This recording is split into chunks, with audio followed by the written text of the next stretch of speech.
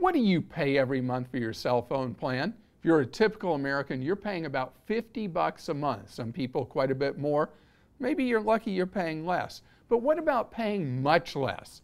That's the promise of RepublicWireless.com, whose most popular plan is $20 a month. So you get anything for 20? You get unlimited talk, unlimited text, and one gig of data a month. Now, that's about what half of people who have cell phone plans use one gig or less each month.